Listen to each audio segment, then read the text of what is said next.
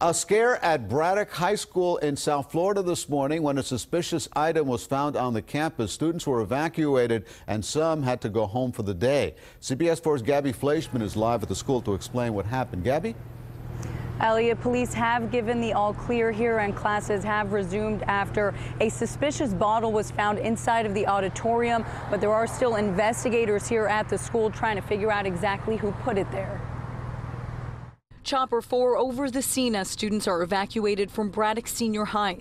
Emergency responders surround the school to investigate a suspicious device. It was really nervous for some of us because it was like our first week here. So yeah, it was like kind of scary. Classes were just about to start Friday morning when Miami-Dade Schools police say they got a call from faculty about something strange at the entrance of the second floor auditorium. Oh, it's kind of shocking. Like, I was surprised that this even happened. This you know, they're always telling us fire alarms and doing all those things, and you never expect anything to happen like that.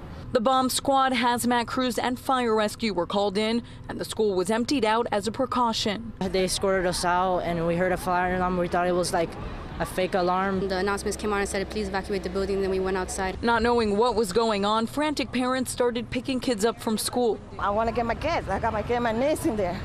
Yeah. So I want to know what happened. They, were, they didn't want to tell me what happened. After hours of waiting outside and several students being treated for dehydration, emergency responders gave the all clear.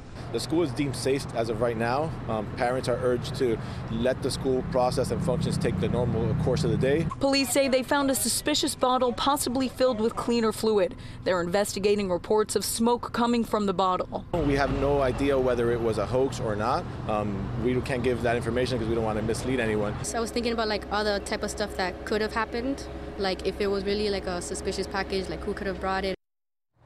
And cops are speaking with students and going through the school surveillance cameras to figure out who is responsible. Uh, they're telling us that classes again have resumed as normal and there is the normal dismissal time at 2.30.